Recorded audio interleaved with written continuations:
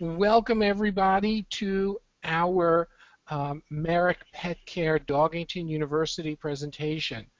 What we're going to be talking about today is we're going to be talking about um, pet allergies. And because we're talking about pet allergies, it makes Merrick just like the best sponsor for today. And the reason is that Merrick's made with real food. And you know, when you give your dog something to eat and you have no idea of what's in the can, you, you can't really tell what's what's going on there. But when you when you feed your, your dog or your cat Merrick, they're getting real food, the same kind of food that you would serve your family. After all, if you believe that your four-legged baby is a member of the family, you should be serving the best. Now, we're going to be doing things a little bit different today and that is, as you know, we always give one person, um, they're going to answer a question based on what our guest tonight shares, and you can win a coupon for a 25 pound bag of grain free real Texas beef sweet potato mix. And, um, and plus, and this is where Merrick steps up to the plate, they're going to donate another bag of dog food to National Mill Dog Rescue at a time that's absolutely critical considering what's going on. Uh, Dr. Shawn is a holistic veterinarian. He's an author. He's a radio talk show host. He's a practicing vet in Texas at the Paws and Claws Animal Hospital and Holistic Pet Center. As a holistic doctor, Dr. Shawn prefers to treat the pet rather than the disease, or at worst, treat the signs and symptoms. Ultimately, he says that pets benefit from this method of care. So I'm going to do now is I'm going to make Dr. Shawn the presenter. All right, we're set to go. Yep, take it away. All right, well, thank you everybody for joining me tonight. Thanks so much for the Dogington Post for inviting me to come share my passion and my love for a more natural approach to pet care. And of course, thanks to Merrick uh, maker of great pet food, for sponsoring my presentation as well. So tonight we're going to spend a few minutes talking about how we can use some natural therapies or integrative therapies to help our pets that have some allergies, that have some things wrong with them from a skin, itchy skin, itchy ear condition.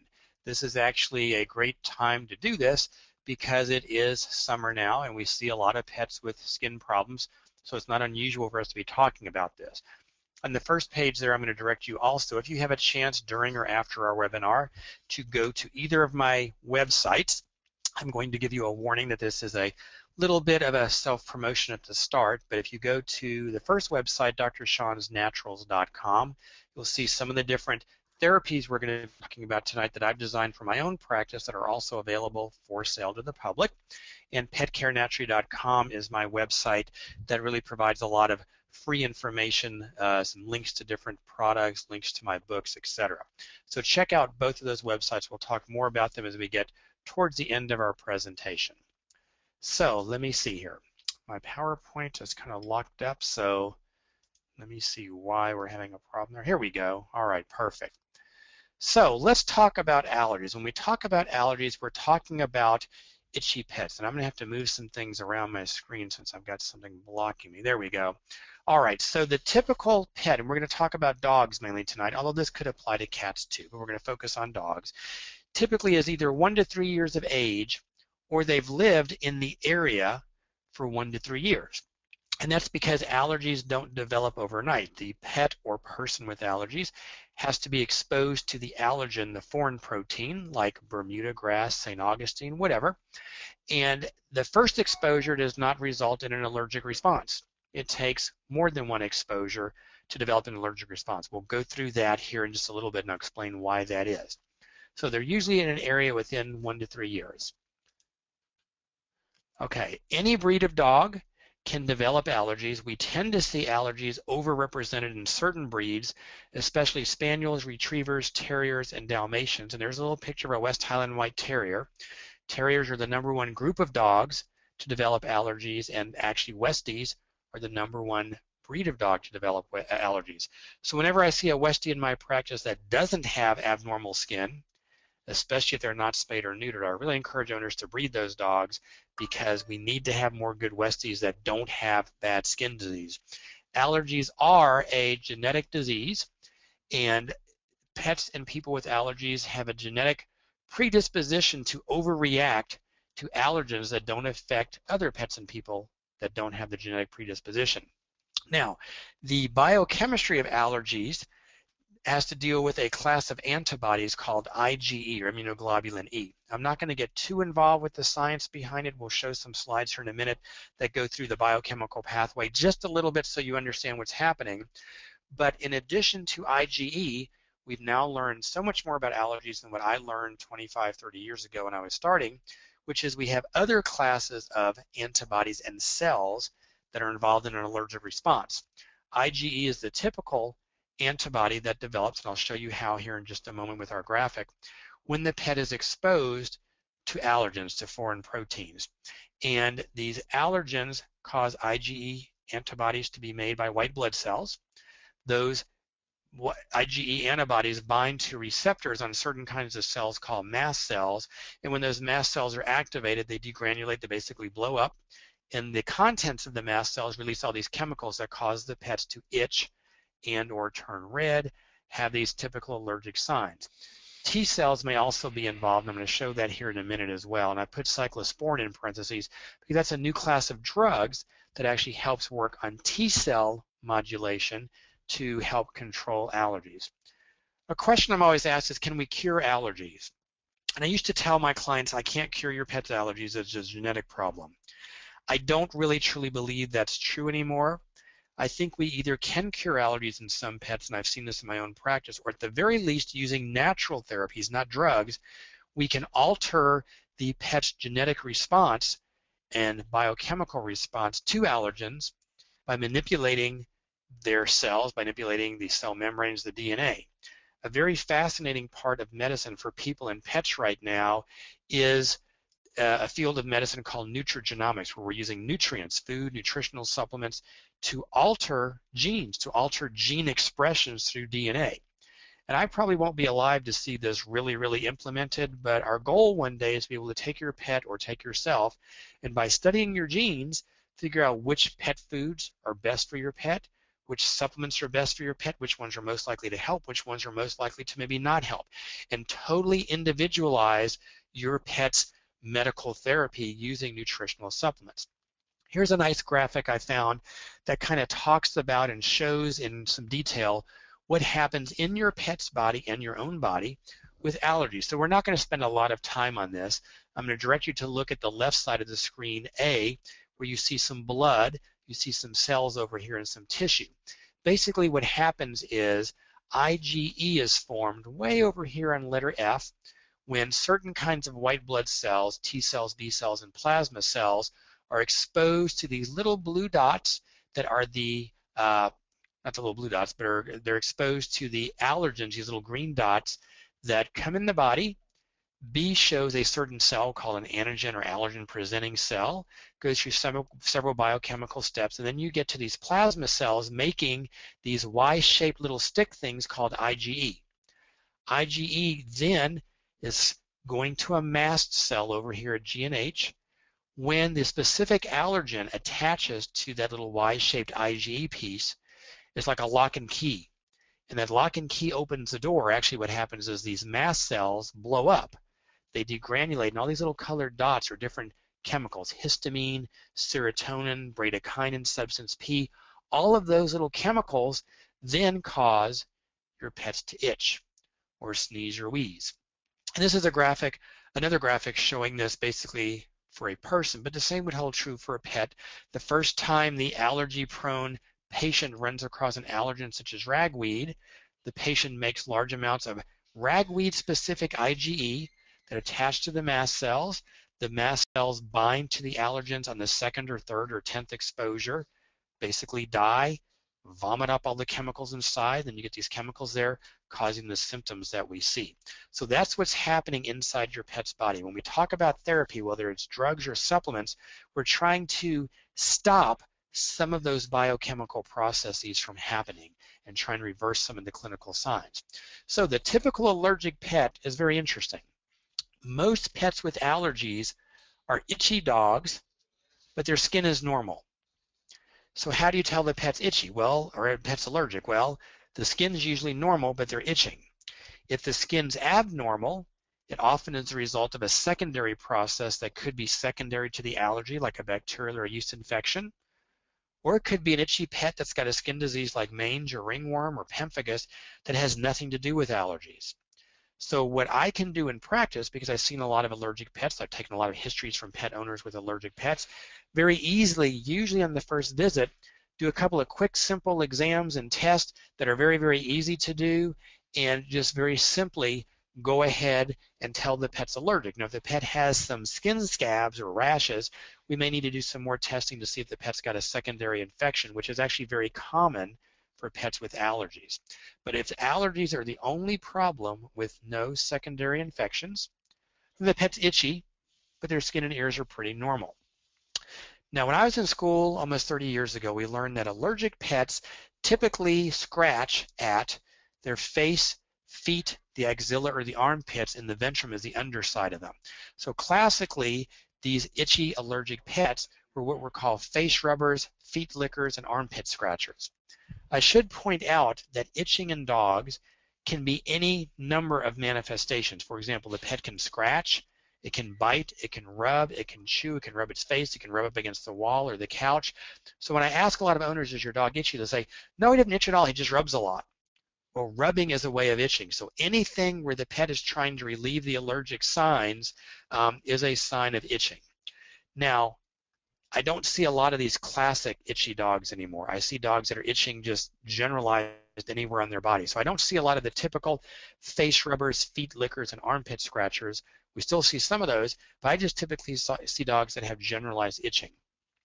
Another thing I should point out is that many dogs have chronic skin infections or chronic ear infections, and they're misdiagnosed as having an infection as the primary problem when really the underlying problem could be something like allergies or food intolerance, food allergies, thyroid disease, adrenal disease, diabetes. So simply because we have a chronic ear problem or skin problem that doesn't get us to the root of the problem. As we mentioned in the introduction, I'm not interested just in treating your pet's skin. I'm trying to get your pet healthy, so I have to find out why is this dog itchy? Why does this dog have chronic infections? And allergies may be only a part of it. This means treatment can be complicated and can be expensive.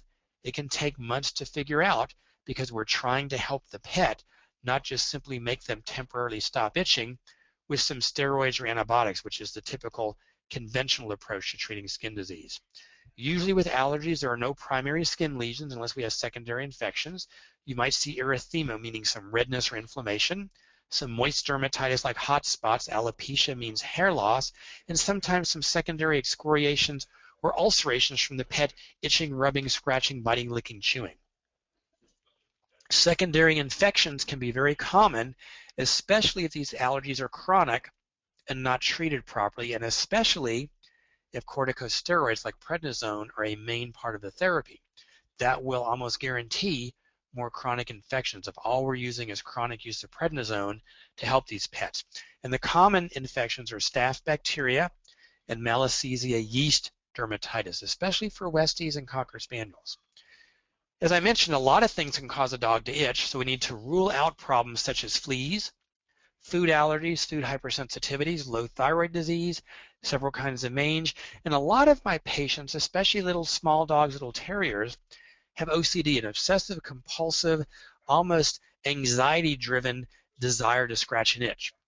So oftentimes, as I'm treating these pets with allergies, remember, I'm not treating the allergies, I'm treating the pet. I will include natural holistic therapies to help pets not be quite so stressful, not be quite so obsessive and compulsive about their itching. Now here's something that's very important for veterinarians and pet owners to keep in mind. If we need to use steroids as part of our therapy for itching, and sometimes we do, if we need to do that and the pet's allergic, the pet should get better almost overnight if we're using steroids as part of our therapy and the pet's not really getting better, we need to question our diagnosis because allergies are much less likely to be a cause of the pet's itching, but other diseases like mange or food allergies or autoimmune diseases like pemphigus are more likely to be a problem.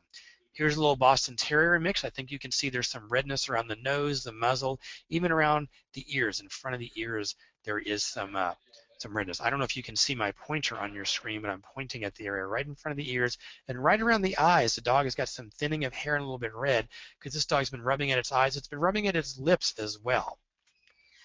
Here's a dog that has normal skin, but it's just kind of itching, actually itching in his ears. Here's a little dog with some red feet. This dog more than likely also has some bacteria or yeast complicating this foot licking issue, mainly because you can see there's a little bit of yellow discoloration there, and if you examine these feet closer, you'd probably see some brownish, some brown waxy buildup in between those toes. I don't think anybody could mistake this dog for having some lesions. This is a Dalmatian with a lot of little red bumps on it, probably a secondary infection to the itching. There's another dog with chronic dermatitis from allergies. This is a Westie. This is typical of the Westies I see that don't have a lot of hair. Very thickened skin, almost elephant-like skin, very thickened, some extra pigment on there, missing hair. If you were to smell this dog, it'd probably stink from the secondary seborrhea for the yeast and the infections, the bacteria. And uh, this is a dog that has been losing hair for some time and is going to take some time to grow the hair back. However, this could also be a dog with thyroid disease, adrenal disease, even cancer. So you can't look at this dog and say it's chronic itching, chronic allergies, but this would be typical of a dog that is incorrectly treated and just isn't getting better. This is a Labrador Retriever, typical of the breeds that I see with allergies. And this dog actually is typical of about half the patients I see with allergies. This dog has normal skin. You can't tell there's anything wrong with this dog until you watch him for a few minutes and he starts itching a lot. So no skin lesions, no skin infections, just typical itchy dog with normal looking skin and ears. so how do conventional doctors treat allergic pets? Well, antihistamines can be used, and I listed several there. Antihistamines, which are H1 blockers or H2 blockers, can also be used. Side effects include drowsiness from overdosing these pets. Usually the drowsiness will improve in a few days and you don't have to stop giving the drug. Most owners do because they don't want their pets to be too drowsy. Uh, antihistamines, if they help your pet, are actually safer for stero than steroids, especially if you have to use them long term. So if I have to use a drug long term, I'd rather use antihistamines. I'd rather not use any drug long term. But if I have to use a drug long term, antihistamines are fine. However, in dogs, antihistamines usually don't work. So most of the time we can't find an antihistamine to work if we're going to even try that. So what I tell people is if we need to try an antihistamine, you're going to give it for about three to seven days. If it's going to work, it will work within a week. If it doesn't work, it's not going to work. Get rid of it. Try something different. Most owners I see who are trying antihistamines don't give the correct dose of drug. They somehow make up a dose on their own or their veterinarian uses too low of a dose. Whoops. Let's get back to the slideshow here. Okay, I lost my pointer. I'm not sure what happened here. You're let's not in the slideshow mode. Okay, let's go back here. Okay, somehow we escaped there. All right, good. So most of the time when antihistamines don't work, they're either not going to work or maybe it's the wrong dose. So oftentimes we have to give higher doses than you'd expect for people. And if you need to use an antihistamine, the safest way to use it is use the lowest dose that works, only when you need to use it. If you have to use antihistamines, they are compatible with steroids and with complementary and alternative medicine, CAVM. So if we need to use natural therapies, that's fine. Often when I see pets, as I mentioned, taking antihistamines, they're given a way too low of a dose and pets need to be dosed much, much higher than people if the antihistamines are going to work. So you can't tell if the antihistamines working or not working simply because they could be given the wrong dose.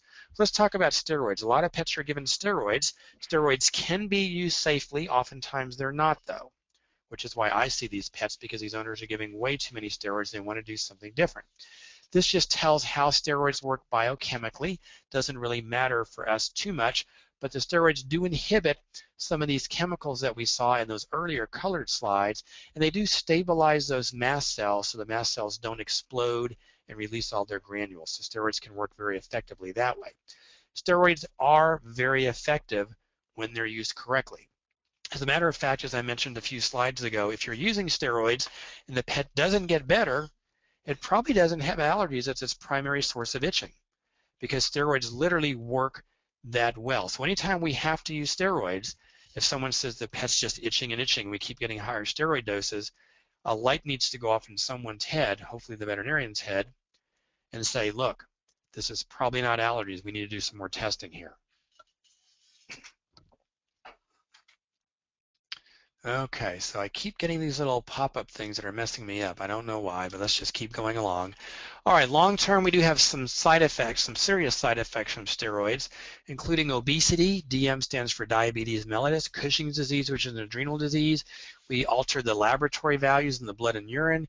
We get secondary infections. We get hepatic lipidosis, which is fatty liver disease. We get osteoporosis, and we get demodectic mange. None of those are good diseases. I've seen all of them with chronic steroid use, so we don't want to use steroids more than we need to.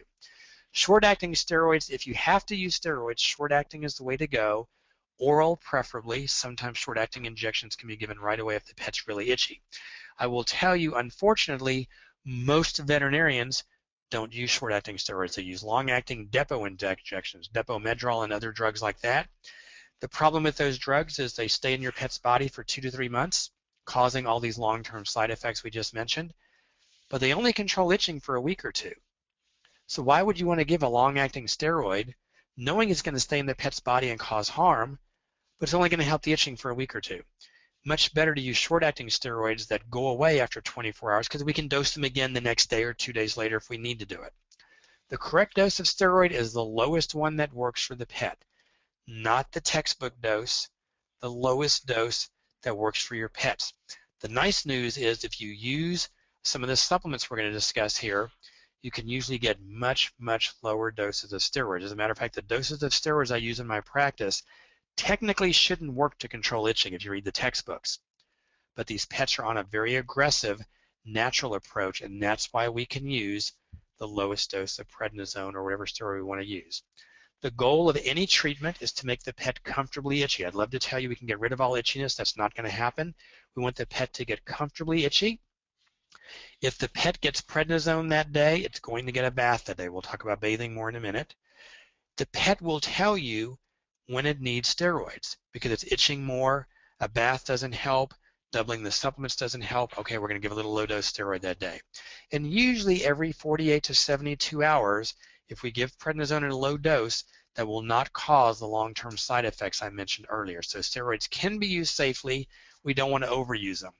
Earlier in the first slide, I mentioned that we have some new uh, understanding of allergies. No longer do we just have IgE antibody causing itching. We also have some chemicals produced and some imbalances of T white blood cells. Well, a new drug called Atopica, which is cyclosporin, has been developed to help dampen that T cell response for some of these allergic pets that have T cell responsive allergies.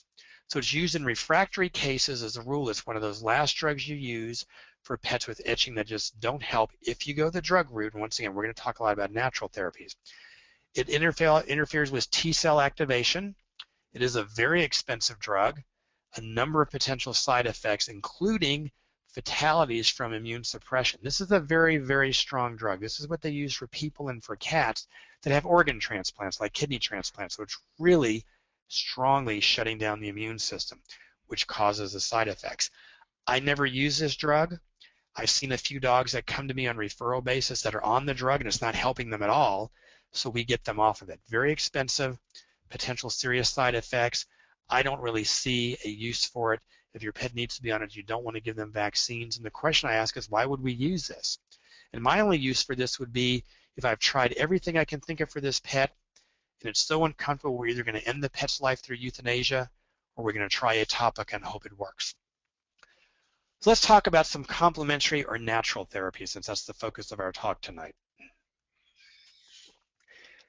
When we treat pets with allergies, keep in mind we're not treating allergies, we're treating pets. And oftentimes I'll use therapies that have nothing to do with the allergies, nothing to do with the skin.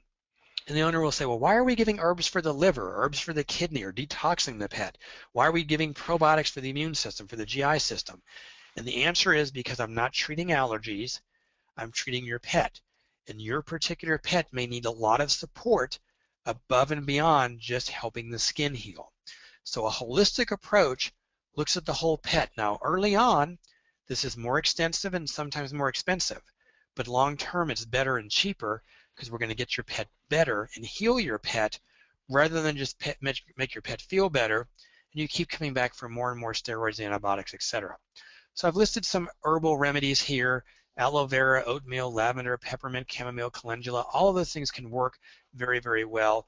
Herbs do a number of things. They support the liver, they help with antioxidants, they have antihistamine effects, they get rid of heat and dampness, they get rid of internal toxicity, they detox the pet, they strengthen the liver, and they help with leaky gut syndrome. Leaky gut syndrome is very common in pets that have been taking steroids, antibiotics, and other drugs for anything more than one or two weeks at a time. It's GI damage. GI damage exposes the pet to absorbing more allergens from the food and everything anything else associated with eating and drinking, so we have to help heal the gut to heal the allergies. One of my favorite herbal remedies is a shampoo I developed called Dr. Shawn's Itch Relief Shampoo. It's an organic base with several herbs in it, and this is my shampoo that I use for any pet with skin disease, no matter what the cause. You can bathe your pet 100 times a day with this. It's not going to hurt the skin it's not going to dry them out. It's the only shampoo I really recommend for frequent bathing because it is an organic oil base that conditions as it cleans. It's effective at reducing itching, redness, scaliness, and infection. It's got a very pleasant lavender fragrance and is safe for the pets, the owners, and the environment. It's a very green product, and that's a picture of it right there with a cute little dog and cat right on the label. A lot of different herbs we can use orally. Licorice is a great herb that's an alternative to steroids. Dandelion leaf is a diuretic that helps clean the waste out. And I've listed some, uh, listed some other ones here that are all designed to work on those chemicals we saw in one of the earlier slides with all the colored pictures. All those chemicals that are released by the mast cells and the T cells when they're exposed to allergens. We're trying to basically prevent those chemicals from causing the allergic response. One of the remedies that I've created for my own patients that's available on my website, drshawnsnaturals.com, is an herbal remedy. It's a Chinese herb called Xiao Skin Allergy Support. Very, very effective. One of my most effective remedies that I use in my practice. It's actually one of the few remedies I use in my practice that I do make available to the general public for sale because it's very, very safe. We use a lot of remedies in my practice that are not available for sale unless you're a client of mine. We'll talk about how you can become a client if you want to do that because they're just stronger. And I need to make sure we're not having herb, herb, or herb drug interactions. But the Xiao skin allergy support is actually good for itching for any reason, specifically allergies, but any itchy pet can benefit from that therapy. I've used it on thousands of pets with no side effects. There's always going to be an individual pet that doesn't like it, maybe has some vomiting or diarrhea, but that's more an individual sensitivity, not really a response of anything within the herbal remedy. You don't need many drops for your pet. It's usually three to five drops a couple times a day on the food. And when we're using this herbal remedy plus the Dr. Shawn's Itch Relief Shampoo with frequent bathing, we can use fewer steroids, which is our goal. And those are some of the ingredients in the Xiao Skin Allergy Relief. And there's a little picture of it, a one ounce bottle. Very, very easy to use. Just put it right on the pet's food and not a big deal at all. There are some homeopathics that will also combine with the Xiao skin relief and some other therapies. Um, sometimes we use acupuncture or chiropractic or cold laser therapy. These are all used to help modulate the immune response. And here's a Labrador with a bunch of needles in them that uh, is getting an acupuncture treatment to help modulate the immune or inflammatory response from the allergies. Fish oil is wonderful. It's one of my favorite uh, remedies. You can use flaxseed oil, but Fish oil is in a more active form, so I try not to use flaxseed oil because it doesn't work very well. It's still safe to use. Actually, the best way to use flaxseed is not the oil, but to freshly grind some brown flax seeds at home, get a little coffee grinder, grind up a bunch of flax seeds, keep in your refrigerator after you grind them. Sprinkle about a teaspoon to a tablespoon a couple times a day on your dog or cat's food. On your food as well, I put it on my cereal, my waffles, my ice cream. It's very flavorless, but it's got a lot of health benefits, including fighting cancer. So I really like it for my cancer patients as well. Keep in mind with fish oil, while it can work overnight, what we're trying to do with fish oil is actually have the fatty acids in the fish oil be incorporated into the cell membranes of the dog's body. So we're actually changing the cellular structure, literally changing the cellular anatomy. That takes about four to six months to do that. So sometimes fish oil can take a little bit longer to work. And in people, we have so many bad fats in our food, and in pets, we have a lot of garbage, a lot of crappy foods out there. That's why American some of these other foods can be very healthy because we're lowering the amounts of the inflammation causing omega-6 and replacing them with the anti-inflammation omega-3s, and fish oil does that as well. So we'll kind of skip through that. Antioxidants, I listed some here that are very popular antioxidants. They fight oxidation through cell damage. They have some antihistamine effects. They modulate some of these inflammatory chemicals we saw earlier in my color graphic. And there are different ones that I like. These particular products, Super Antioxidant, Total Anti-Inflam, are popular products in my practice. They're not available for sale for the general public, but if you're a patient of ours, you can use those in conjunction with the Xiao skin allergy support and some of the other remedies we talked about. I do also want to mention another website there. You can click on that link. That is a supplement called Vim Vigor. That is my favorite supplement to give all dogs and cats, whether they're healthy or sick, to try to keep them healthy. It's a twice a day chewable treat for dogs, a bacon flavored powder for cats. My cats love it. My dog loves the, the little treats. And I use that in conjunction with the other remedies. This particular product, Vim and Vigor, is also very helpful for pets that seem to itch more at night, which is true for so many allergic pets. And that's a picture of the bottle of the Vim and Vigor, the daytime formula on the left, the nighttime formula on the right. Let's talk about topical decontamination, which is basically bathing. There's an old wives' tale that says you can't bathe dogs very often because you'll dry out their skin. And that is true with a lot of shampoos. You will dry out their skin, so you don't want to overbathe them. However, the most important thing you can do for a pet with skin disease is to bathe it frequently. That will really reduce the amount of medication like steroids and antibiotics you need to use. Because of my alternative natural remedies I've developed, some of which we've talked about, and by using the Dr. Shawn's Itch Relief Shampoo. If you use it frequently, in my practice, very few of my patients with skin infections get any drugs. I hardly ever use antibiotics for skin infections. I never use antifungal drugs for yeast infections. I don't have to. The remedies I've developed work really well and act as natural antibiotics, antifungals, supporting the immune system. And by bathing the pet frequently, you are cleaning the pet. You are getting rid of all of the bacteria and the yeast and the allergens on your pet's skin. Don't forget your pet is allergic to and itches from these little pollens and molds and things that get on the dog's skin. They're absorbed into the body. Remember that slide we showed earlier? They're absorbed into the body and they cause problems. Well, if you're bathing frequently, you're cleansing the skin. You're using the Dr. Shawn's Itch Relief Shampoo, which actually has some anti-inflammatory, anti-itching properties. You're removing the bacteria, the yeast, and the foreign proteins that cause the itching, so you have to do that all the time. Compare it to yourself. If you have dandruff, you can't use a dandruff shampoo once a week, once a month, and think your dandruff's going away. If you read the bottle, it actually tells you to shampoo a couple times a day. You have to do it that often to kill the yeast that cause dandruff and kill the, uh, the bacteria on your scalp and remove all the scales. The same is true with topical therapy for your pet. The Dr. Shawn's Itch Relief Shampoo will not dry out your pet's skin. You also need to treat the secondary infections with a product I've developed called Olive Leaf Plus. That is my alternative to antibiotics and uh, anti-yeast drugs. It is effective in most of my patients, so 75-80% of my patients will not get antibiotics, none of them get antifungal drugs, and with a very aggressive regimen using some other products I'll mention here in a moment, but including the Olive Leaf Plus, we can really cure most of these skin and ear infections. Another tip I'm going to give you is after bathing with the Dr. Shawn's Itch Relief Shampoo, get some plain white vinegar and mix it one part vinegar, one to four parts water. Normally four parts of water to start off with, especially if your pet's got a lot of inflammation or open sores because the vinegar can burn.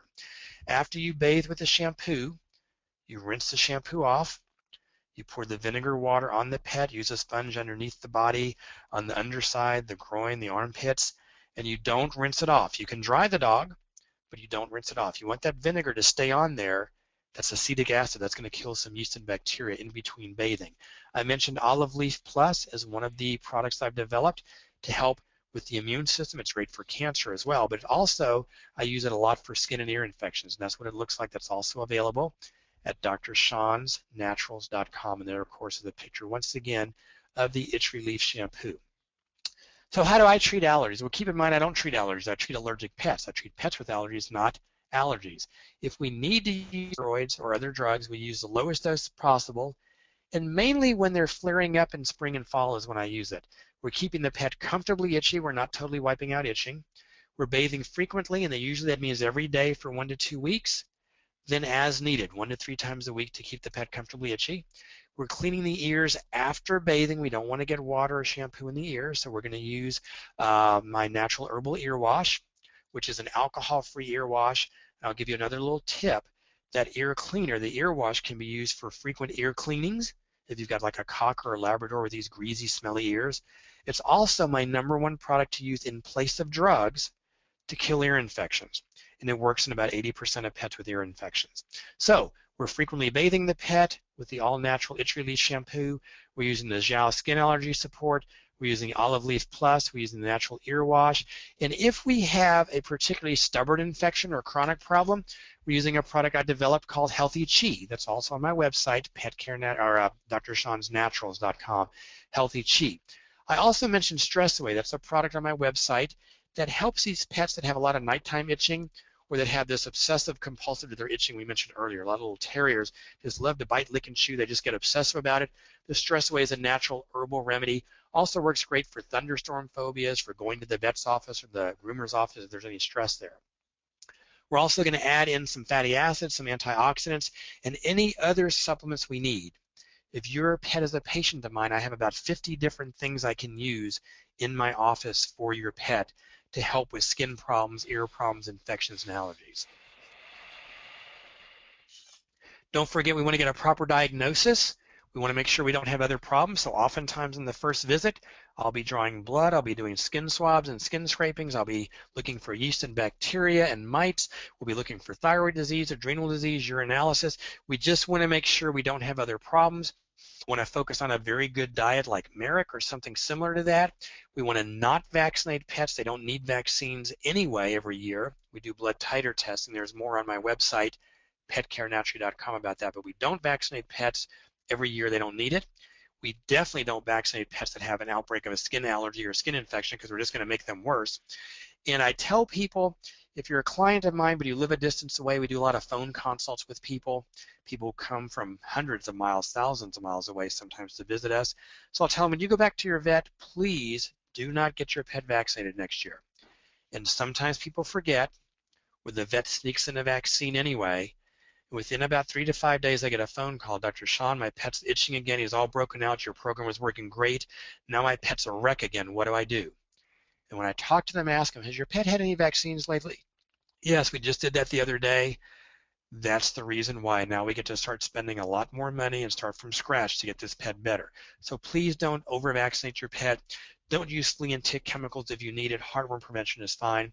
And keep in mind that a holistic program is an individual program. How I treat your dog with allergies is different from every other dog I see. I mentioned some things you can do the all natural itch Relief shampoo, the Xiao skin allergy support, the olive leaf plus, the ear wash, etc. Those are standard therapies I use for all of my patients. But then we tweak things a little bit with some of these other remedies that are not available on my website or over the counter based upon your pet's response to our initial diagnosis and treatment. So sometimes it can take a few months up to a year to really fine tune this. If your dog's been itching for five years and you've been through all these drugs and allergy shots and it's not getting anywhere, it's foolish to think overnight I'm going to help your pet. The only thing that works overnight are steroids, and sometimes I'll use them in a low dose to get your pet comfortable quickly. But we have to get your pet healthy, and it takes a while to do that. I like to see pets through all four seasons, so I know when to expect flare-ups. And I tell owners, keep a diary of what, work, what works for you, what doesn't work, and when. When I see an allergic pet, a month later I want to recheck that pet, and I want you to tell me, hey, what's working? How often were you able to bathe your pet? If you couldn't bathe your pet every day, that's maybe part of the reason. If your pet wouldn't take a certain supplement, that might be the reason. How often are you using steroids? We don't want to do that more than we need to. So let's do a little self-promotion here. Dr. Shawn's Naturals, that's the website, drshawnsnaturals.com. No apostrophe. You don't spell the word doctor out. It's just D-R-S-H-A-W-N-S. N-A-T-U-R-A-L-S. All one word, drshawnsnaturals.com. Doc, all of those um, products doc, are safe and effective. Yes, I'm, someone's talking in my ear. Yes, this is Dr. Kilstein talking, and we're going to have to start wrapping things up. Okay. Um, we got off to a low start, so we've got a, one minute to wrap up, and then we go back to um, um, tell people where they can continue talking with you. Wonderful. Okay, so just check out the website. There is a 10% discount if you enter that code Dogington when you check out. Free shipping over $75. We have monthly specials. Same things I use in my practice. And if you need to get a hold of me, we do phone or website consultations. There's information on there how to do that, and we can set you up with some of these other products if you need that. But if you go check out Dr. Shawn's Naturals, do enter the code Dogington, D-O-G-I-N-G-T-O-N, and through the month of June you get 10% off any of your order. All the products we discussed are on the website. I've enjoyed being with you. Thanks again to Dogington Post for having me on. Hopefully we'll be back in the fall and talk about cancer treatments. And we'll be going to Merrick's Facebook page in just a few minutes to talk about more of these things and try to answer some of your questions. So thanks for having me, and we will continue on Facebook in a moment. I know you're going to be announcing how to do that. Okay, well here we go. We are we are back here. And guys, it's now time for us to have our our contest that we have every day.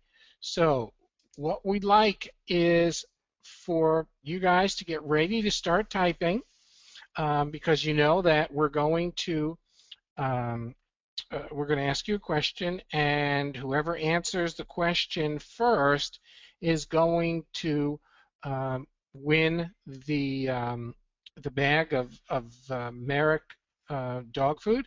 So what we'd like from you is we're going to have everybody head over to Merrick's Facebook page, facebook.com forward slash Merrick Pet Care. Dr. Shawn's going to be answering your questions. Um, you can comment on the Facebook post about today's webinar, and Dr. Shawn will dive right in and start answering your questions. Now, I see dozens of questions over here, so go right over there and he will answer your questions. You can see the link right over there to continue the conversation. Just click on it and you'll be there. Now, for those of you who are ready, uh, get your typing fingers ready because uh, someone already wrote an answer in. Uh, I didn't even ask the question. Eh. All right, nice try there. Um, but the question is, get ready because you guys are fast uh, and listen to the question, what's the most common group of dog prone to allergies?